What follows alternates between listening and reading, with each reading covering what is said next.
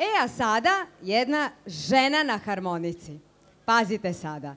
Solista na harmonici, da budemo zvanični, Danijela Predić odsvirat će vam splet kola. Danijela, izvolite.